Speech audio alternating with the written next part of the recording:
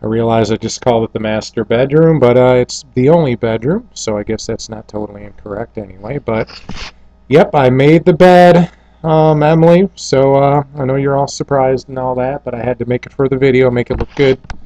So, haven't made it any other days, I'll admit. Uh, TV comes with cable. Um, there's a TV in the, uh, in the living room, too.